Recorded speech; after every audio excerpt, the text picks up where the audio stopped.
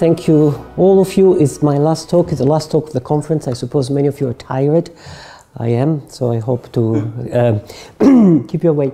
Before uh, doing this, uh, I'm going to talk about quantum gravity. So, can I ask you how many of you work in quantum gravity or in strictly quantum gravity related things? One, two, three, a small minority. Okay, Julian, five. And how many of you have some interest in quantum gravity? Just consider the thing interesting. Okay, so a large majority.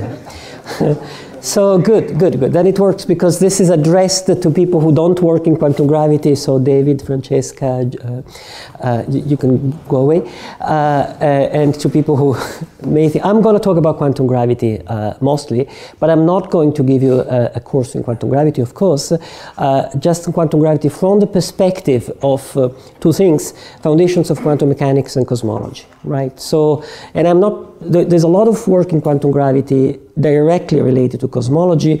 Hope I'll try to get to the end of that. So tell you something that uh, people working in quantum gravity are trying to do uh, somehow along the lines that uh, uh, uh Valentini was saying just before me, namely use quantum gravity to derive some prediction from early universe that could help us test quantum gravity hypothesis but or quantum mechanics hypothesis in your case. Um, but uh, this is not the main aim. This will just be to connect to observational cosmology at the end. The main aim is uh, how can we do quantum gravity uh, in view of the foundational pr problems of quantum mechanics. And what I will try to convince you, if I can, is that in fact uh, uh, gravity simplifies the problem, doesn't complicate it. Uh, if you take the point of view that I have uh, uh, presented yesterday, which I reviewed just in one slide, uh, I, I, never talked about gravity yesterday, almost never. So if you bring gravity in the game, the relational point of view becomes easier to understand, and uh, um, I believe the relational point of view offer a natural manner for uh, speaking about quantum gravity for computing in quantum gravity. So this was last uh, uh, lecture. It's just a, a, summary of the first lecture. There are some of you who were not here uh, yesterday, so let me just very, very rapidly go through this to refresh your memory and tell those who were not here yesterday what happened. First of all, I insisted that, that one should not confuse two meanings of the word universe. The large scale degrees of freedom is one meaning. That's what people in uh, physical cosmology study. And uh, a second uh, meaning of the word universe is everything, uh, all the degrees of freedom, including the small ones. Cosmology is not about everything, uh, it's about few large-scale degrees of freedom, so one made mode expansion and disregard everything which is small, small meaning a million light years. Um, tautology, that's a word that I came out for meaning for indicating everything, and is a legitimate question whether one can do quantum tautology, but it's nothing to do with cosmology. Cosmology by itself, I argue, can be done essentially with conceptual, basic conceptual quantum mechanical tools, like for instance the notion of observer, independent from the system, because uh, me and my telescope and my Earth and the full galaxy are smaller than a million light year, uh, are they? Are not the object described by the degrees of freedom that a cosmologist uh, work with. Uh, this was an introduction about uh, separating problems. Uh, I spent most of the time describing the relational view of quantum mechanics, in which instead of focusing on the wave function, one focuses on quantum events, events, facts. Uh, this is here, uh, spin is up, uh, the electron is in one point, one point in one time, uh, so va values of variables and sign times, things that happen, quantum events. This happens at interactions. And uh, the reading of quantum mechanics is that the ontology is weaker than that of uh, classical mechanics and not uh, stronger. So you don't add the wave function, you take away some non-observable, non-interacting uh, things. the interpretation of wave function is always in terms of uh, Everett relative state uh, wave function, uh, relative uh, state, so it's always relative to two systems, okay, and the wave function of everything is a basically meaningless concept. I insisted on, about information, I'm not going to that, and then I insisted a lot in the last part about discreteness. One thing on which I insisted is that a lot of interpretation of quantum mechanics uh, seems to forget that discreteness is at the core of quantum mechanics, and h bar is a limitation of the amount of information that we know we can get about where a system is in, in, in, in, in, in phase space. So quantum mechanics is about discreteness, it is its name, and uh, uh, this, I think, is a core fact about quantum mechanics. So that was yesterday. Today, uh, I bring uh, uh, gravity, right? Things fall, and that's what we want to consider. So what do we know about gravity? Um, we know Newton's theory, uh, which work well, and we know the Einstein theory, which works much better. The planets don't follow Newton, uh, don't follow Kepler. Mercury doesn't follow Kepler orbit. Um, and uh, of course, Einstein idea is uh, uh, very simple, is that what Newton introduced as space-time, space and time, is in fact a gravi gravitational field. Or if you want, the gravitational field is space-time. That's Einstein. That's a one-line uh, review of general relativity. This implies that space-time is a dynamical field, like any other. Um, careful. General relativity doesn't say that the gravitational field is special. It says that all the fields don't live on space-time, that the, the universe is just made by fields, dynamical fields, which interact with one another, and the gravitational field is just one among the many, right? So it's not by itself the gravitational field is, uh, is when you go out from the approximation of treating the gravitational field as a background, that your ontology changes because you don't have any more a background than fields, you just have fields.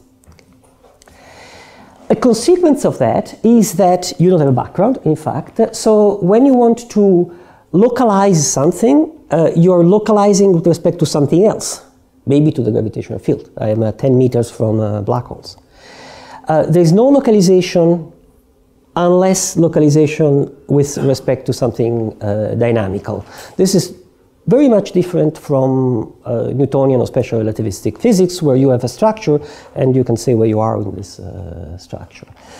Um, this, by the way, is true for spatial and temporal localization, right? So in Newtonian physics, uh, things happen before, later. There is a time with respect, along which things happen. In general relativity, there is no time with respect to which things happen. A Riemannian manifold doesn't happen along a time. A Riemannian pseudo-Riemannian manifold is a time, includes the time in it. So the spatial and temporal aspect of the world come out of the field, and not the fields leave into a spatial and temporal aspect. And uh, uh, so localization is always relative uh, to other dynamical things. Now, this is just a particular take, but it's rather standard or somehow uh, possible view of generativity. Now something which I find remarkable and uh, perhaps deep, I don't know. There is something I, I keep going back on this, the following idea. It's the following. Let me call just Einstein relationalism this fact that in general relativity localization is, is relational. Like Einstein was all this debate about the point coincidences, uh, uh, the hole argument, uh, uh where things are, Einstein solution, the only thing we see is coincidence of, uh, of, of, events. If you work in experimental relativity, you know very well that you have to be very careful of not publishing uh, as it has been done in the past. You know, the, the moon, at some point the published distance of the moon was a coordinate distance before somebody realized that this was totally meaningless and you have to, you have to think about physical distances. Uh, you have to talk uh, to say where something is with respect to something else and not with respect to a coordinate system. So things are localized with respect to other systems. That's just what I said. But yesterday, I talked about quantum relationalism. I said every system uh, interact with another system and uh, somehow quantum events come in at an interaction. Quantum theory is about a system has it seen from another system. For Bohr, it was uh, uh, a system in the classical world, the system of the server. I think that uh, I mean, many people think that one should make a step ahead, and the classical world is not special. Any system with respect to any other system, that's in the interaction is when uh, quantum events happen. So there's a Einstein relation in the system uh, localized uh, with respect to one another when they touch one another, and quantum relation system interact with uh, now, don't these things seem to talk, the two? one of the greatest discoveries in modern physics is locality.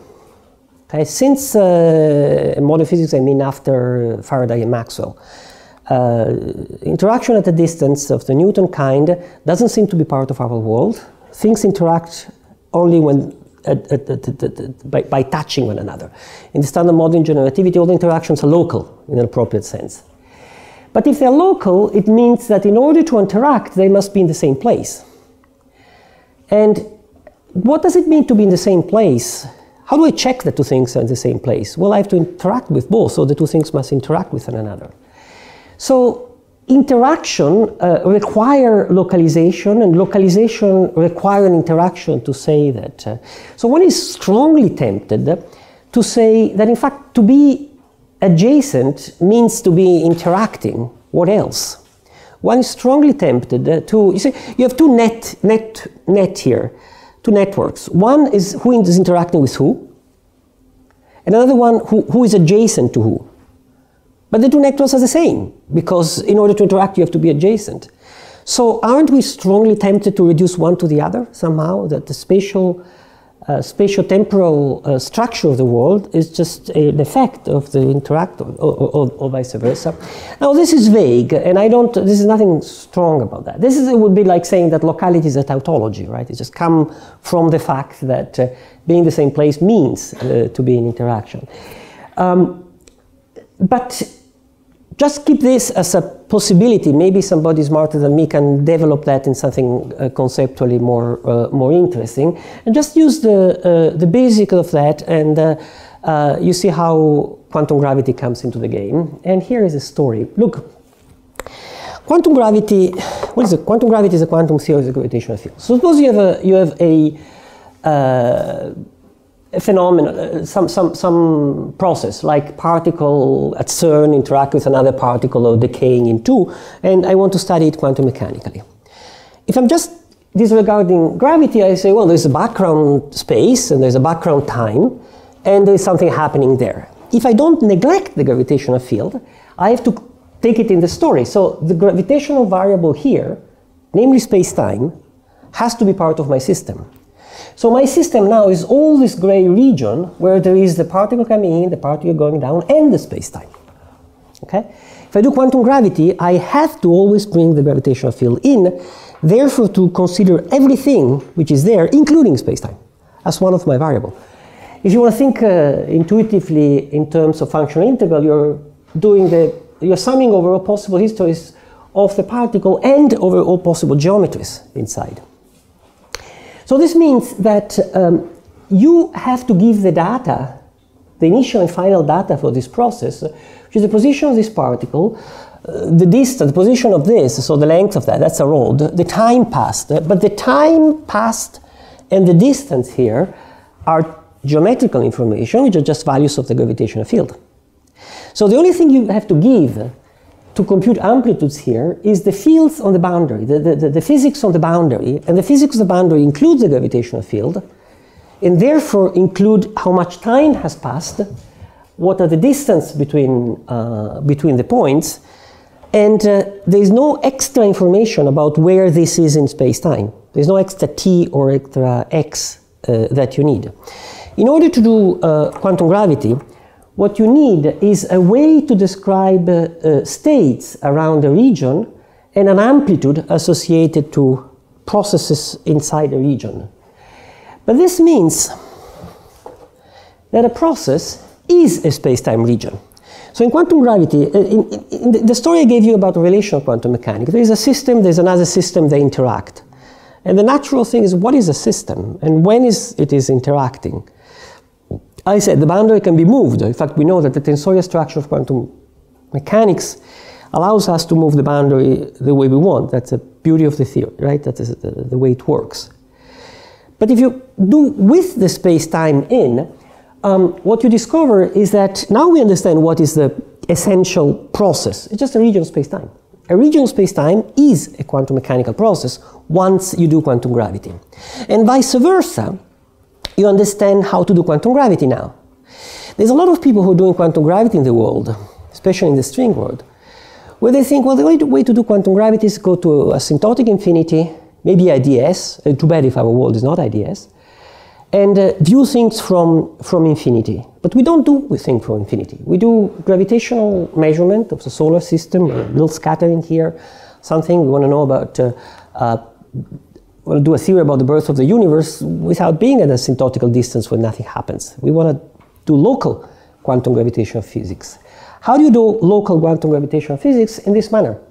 By having uh, states on the boundary and uh, amplitude associated to processes.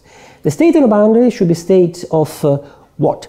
Whose classical observ whose observables describe uh, your particles, your Dirac fields, or whatever standard model, and the geometry, namely the gravitational field.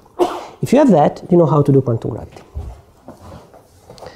So, processes a space-time region now because of quantum gravity. States are pieces of uh, spatial uh, regions, not infinite, uh, finite regions. Probability is coded into the transition amplitude. There's one thing missing, which is a nice part. Discreteness. So I talked about discreteness and the discreteness of uh, uh, gravity.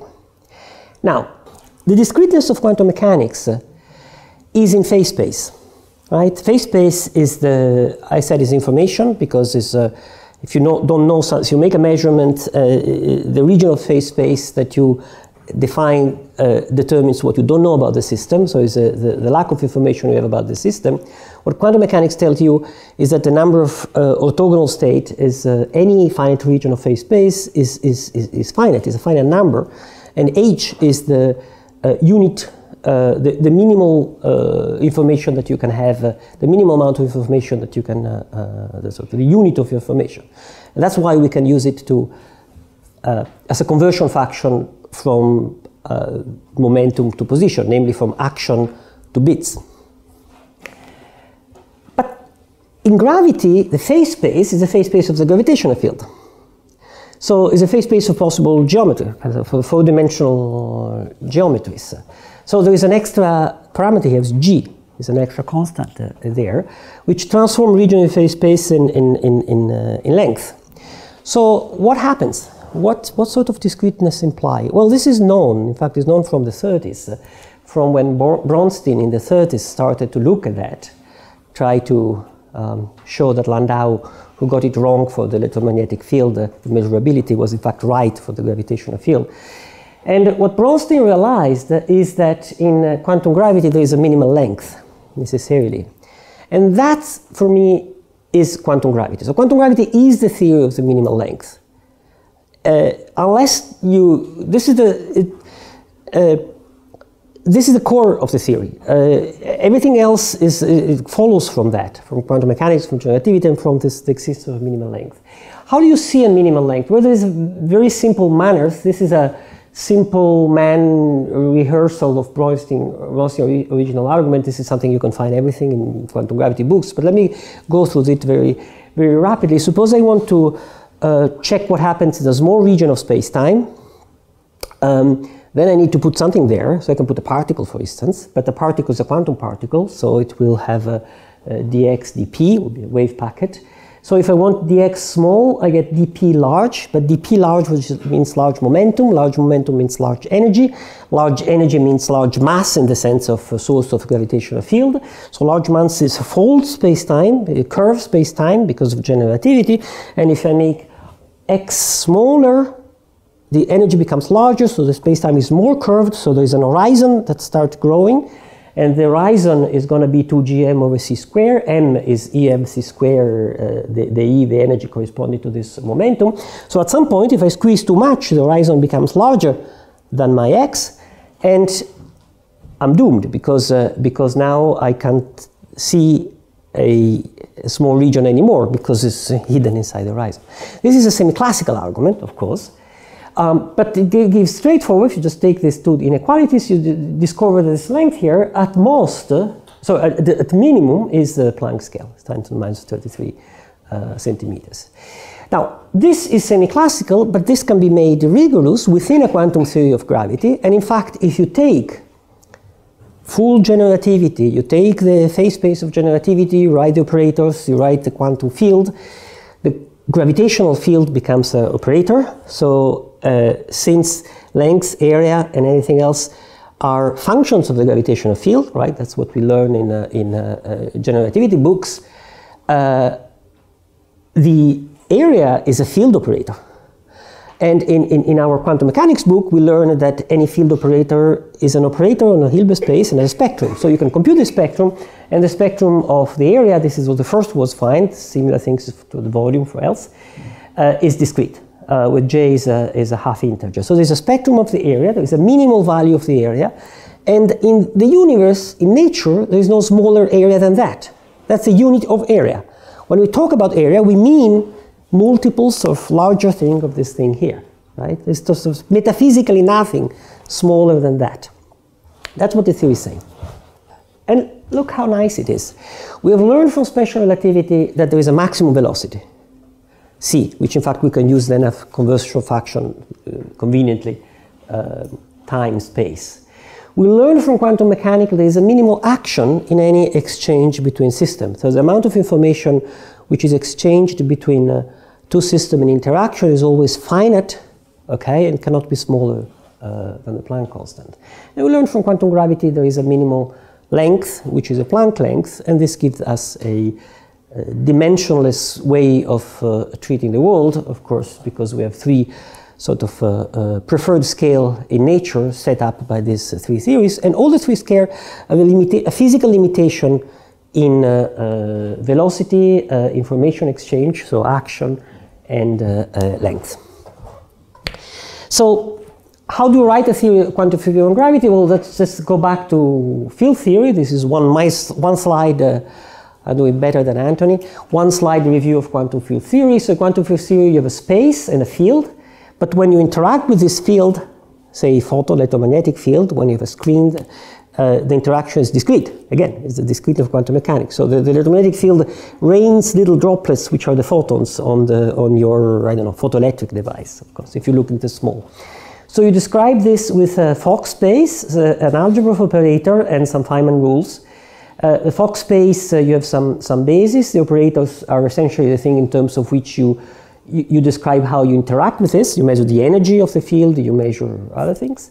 And the Feynman rules are what tells you how you go from an initial state to a final state in time. So what you do in quantum gravity, well, you do the same thing, except that now the space-time is not there anymore because it's a field.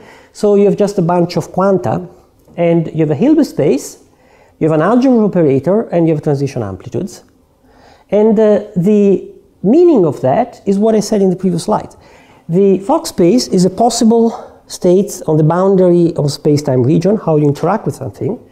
The operators represent the quantity that you can measure on this boundary, and this amplitude tells you what is the, what is the probability of going from the, from, from the beginning to the final.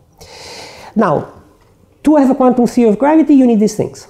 And uh, in loop quantum gravity, you have these things. I just, just flash here a slide with uh, equations. I'm not going through, I don't want you to follow the details of this equation. Uh, but I just want to tell you that there is a, a, a well-defined definition of a Hilbert space, a well-defined definition of set of operators, and uh, uh, of uh, transition amplitudes, which play this game. I'm not going into that, but just allow me to say a few things about the, the, the, the characteristic of this space space and this operator. Just copy these two in the next slide. Um, Fock space, you have zero particle state, one particle state, two particle state, three particle state, and say QED, for instance. Here, uh, you have something similar. Uh, you have uh, uh, Hilbert spaces associated to graphs, where you can think of this as one, two, three, four, five, ten particle state, but uh, a graph has extra information which are um, links, uh, who turns out to be, once you interpret this, uh, as uh, adjacency relation. This is next to this. The operators are essentially the gravitational field, more precisely the triad here, the tetrad formalism, uh, sitting here. And uh, if you look at the, where do they come from and what do they mean, this is a metric, and this thing here uh, determine a geometry of uh, a chunk of space. So the, the, physical interpretation is that each node here is a chunk of space. Here is drawn as a polyhedron, um, and whose uh, geometry is determined by these things here. Of course, this is, a, is an algebra that doesn't commute, like A and A dagger, or like the spin uh, X, Y, Z. So this picture is semi-classical intuitive picture. This is a tetrahedron in the same sense in which an electron is a little stone that rotates. An electron is not a little stone that rotates because uh, Jx and Jy don't commute. So here the various angles are, don't commute. So the geometry is quantized because the operators don't commute. But the geometry is quantized also because uh, you can write the volume of one of these things or the area of the faces separating this. And as I said before, the spectra of these quantities are discrete. So these cannot be arbitrarily small. They are just at some. some um, this is a state, then you, you, compute, uh, you can compute transition amplitude. Transition amplitude uh, are computed order by order in some expansion, like in uh, uh QED.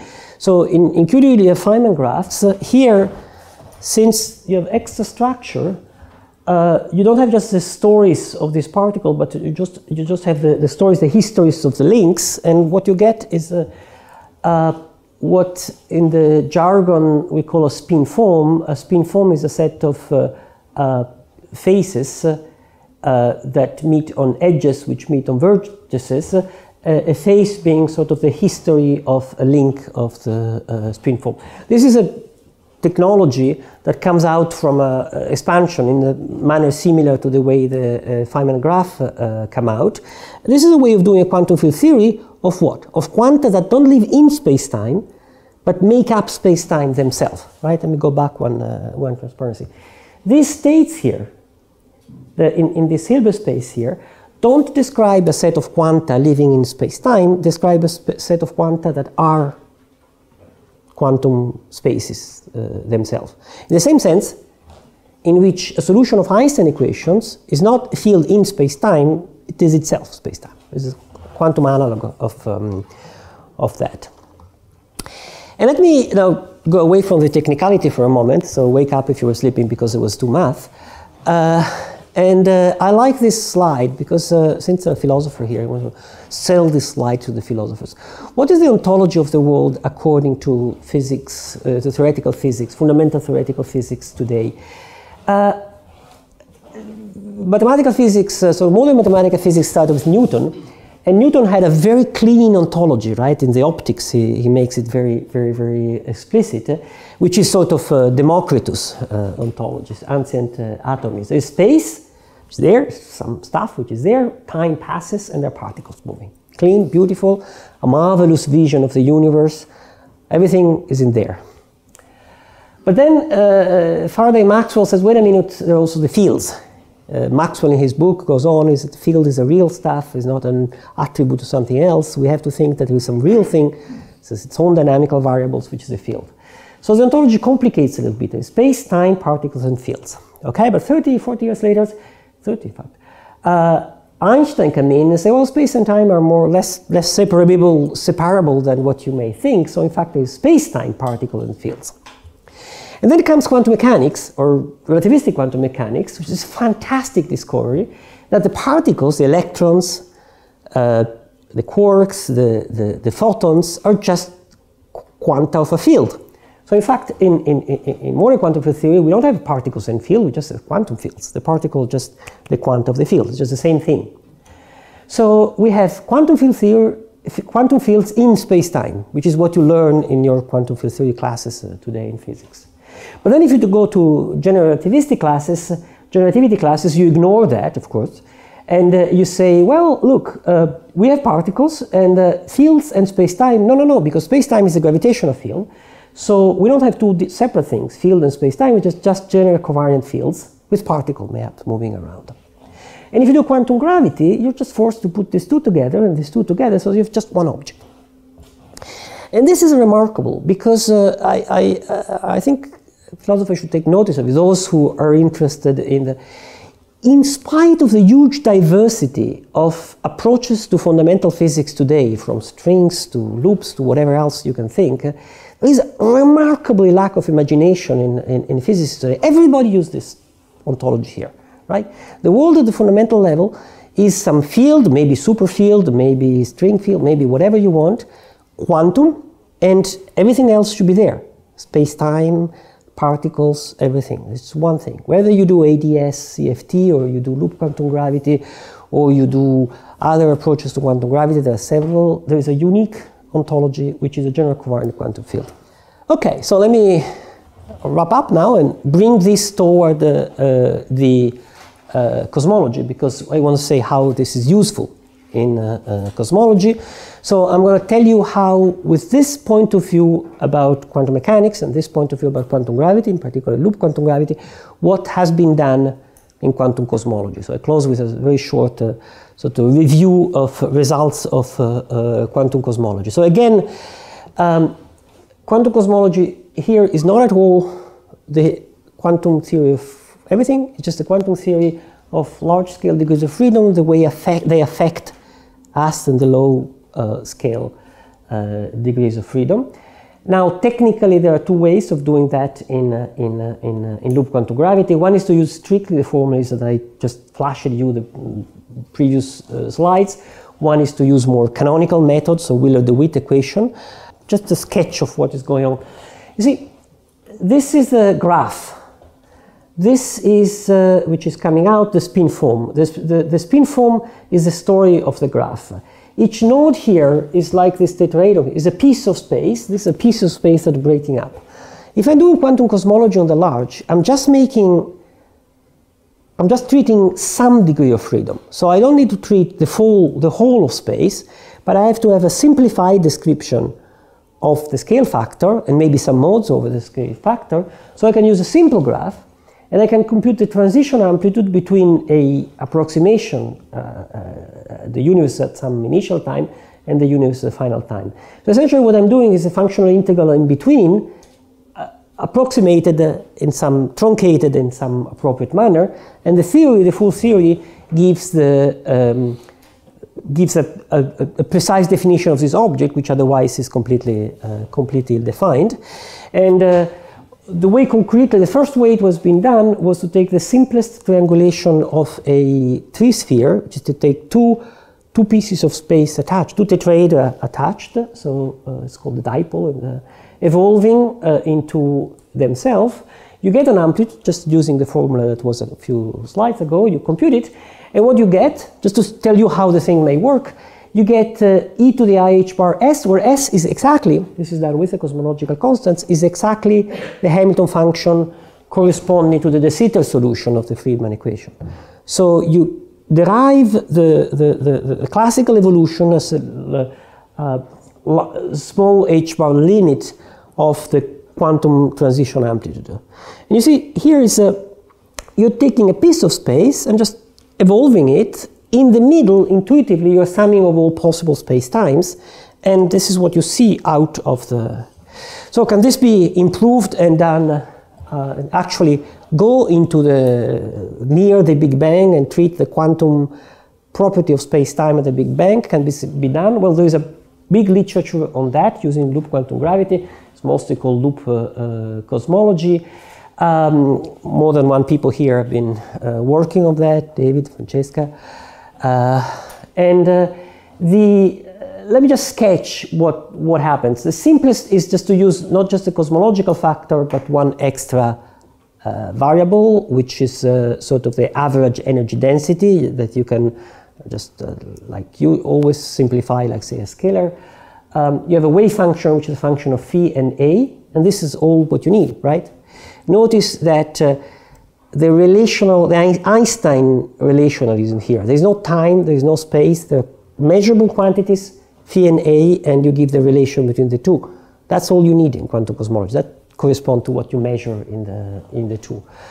Um, the equation that you get are corrected Friedmann equation. You can study them, you can study the fluctuation, you can study the perturbation over that. What you get?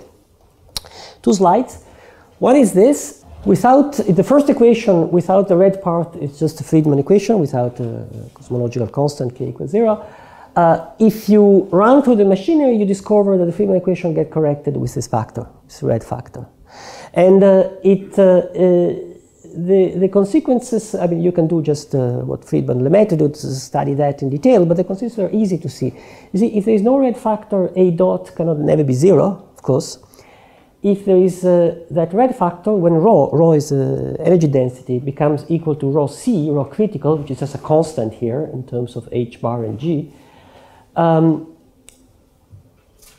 the red factor becomes zero. So A dot becomes zero. So the possibility of, uh, of stopping not. And in fact, if you, if you look at the solution, what you find is that if you go from now and you go back in time, um, that's what you get. So you get a bounce. So the scale factor gets to zero, gets to not zero, uh, to a small value and, and bounces back. The small value is what? Well, A, A of course doesn't, doesn't mean much because it's arbitrary, but uh, um, uh, uh, means, for instance. Rho uh, is the, the, the bouncing point is when the energy density gets to energy density square. Okay? So this would correspond uh, in terms of standard cosmology when the proper time for the Big Bang is, is, is a Planck time, roughly, so order of magnitude. Um, there's a similar correction for the perturbations. Um, there, I'm not going into that. There's been a lot of work trying to use this to study how the perturbations are going to be affected of that. I don't want at all to oversell this, uh, the result of that, because I think the work is, uh, is going on, but I just want to, to uh, end with a, uh, a paper. This is a PRL that appeared uh, uh, very recently, 2013, by those people, in which they have redone somehow the analysis that Anthony sketched before, before me of the standard perturbation, keeping into account the particular dynamics of the scale factor uh, in that model and uh, the uh, fluctuations of the scale factor in the background that affect the perturbation. And what they come out, what they find is that um, this is a, the standard mode expansion, this is a power spectrum, uh, predicted by loop quantum gravity divided by the, st the standard uh, power spectrum. So again, at large uh, angle, the same regime Anthony was talking about, the prediction differs uh, from the uh, standard one, the bluer the, the data point. I don't know if I'll bet my head on these predictions. David is saying you shouldn't. Um, but uh, what I want to uh, uh, emphasize here is that uh, work is going on uh, in trying to uh, use a specific quantum theory of gravity, which is a tentatively complete, possibly physically wrong, theory of quantum gravity to study what happened around the Big Bang, tentatively have a story of what happened within some truncation or some approximation, and through the evolution of the perturbation, see whether there can be traces in the, uh, in the cosmic background radiation. It's work in that, it's work in uh, non-Gaussianity, in uh, tensor modes, and so on and so forth. This was just to give you um, an, uh, an uh, idea. So let me summarize.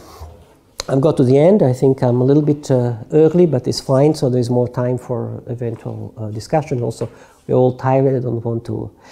So just summarize. This part here is a summary of uh, my first lecture, which were more, more ideas. No? Cosmology is not about everything.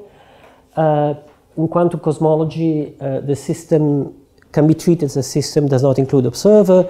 Uh, tautology is about everything. The world uh, in relational quantum mechanics is about uh, quantum events.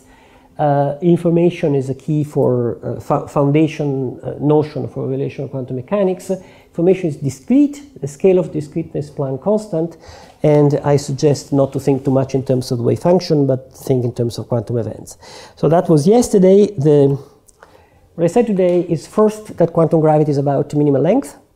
I think this is a central idea that uh, processes, in the sense I was talking about processes before, can be identified with space-time regions. So I can compute what happened from some interaction to some other interactions. And whatever is the middle is everything which is in the middle, including space-time.